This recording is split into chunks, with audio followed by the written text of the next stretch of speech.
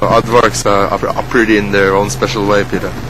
Everything's been interested in wildlife on a global level as well. He's very interested in all things endangered and rare and, and haven't been seen before.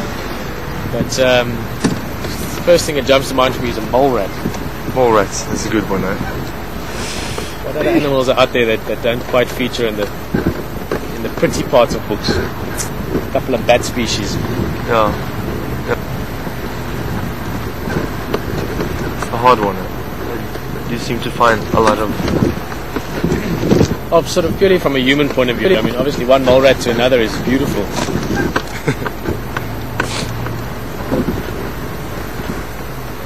Yeah, give me five minutes and I'll I'll, I'll come up with something. Alex is going to give us his one species of uh, not quite so pretty animal.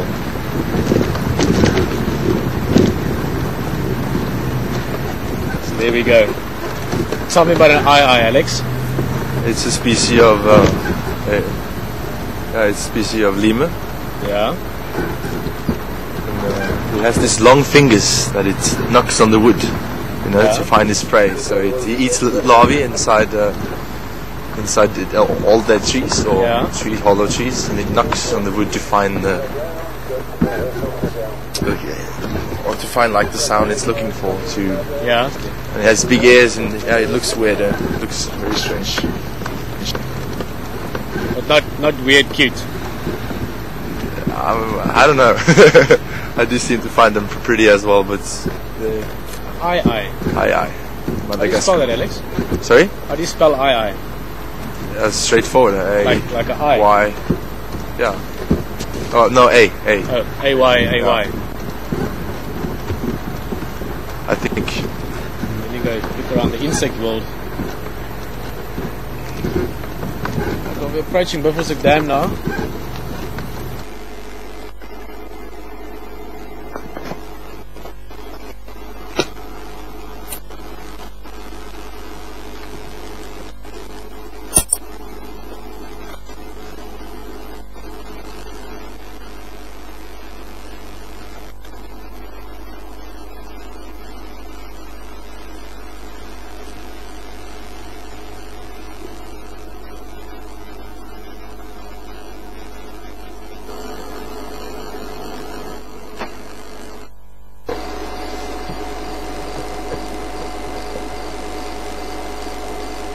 Beautiful shadow.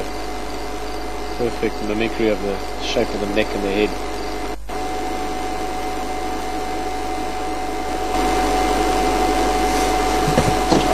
Oh, digging. What's his plan there?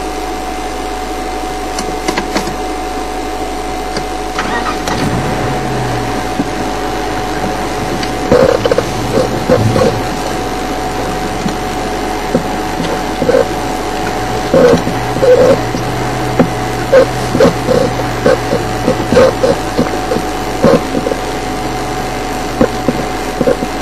me the front again quickly, please.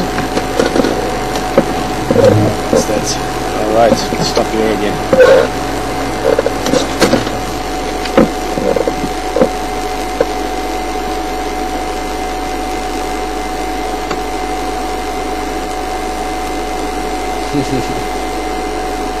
Must have heard something, so it's like stops whichever is in the air at the time doesn't even oh no. I've always been fascinated by them. Raccoons just look like they, they could be a lot of fun to watch for a while.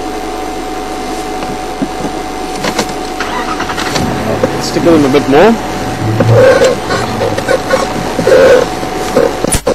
Plus it's also good driving practice. Never thought I'd have to learn again how to drive. That's certainly a different way of doing it.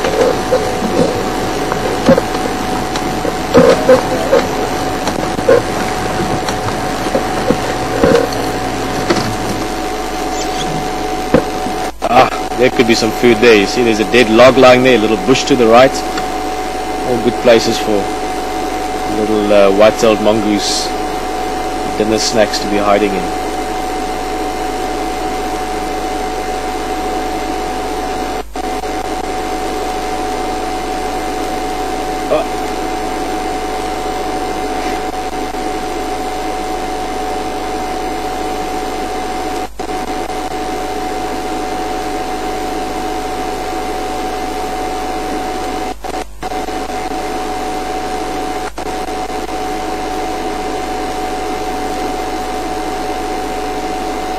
I'm quite a firm believer. The concept of too much of a thing is fantastic. Um, I think I'm going to leave this mongoose for now.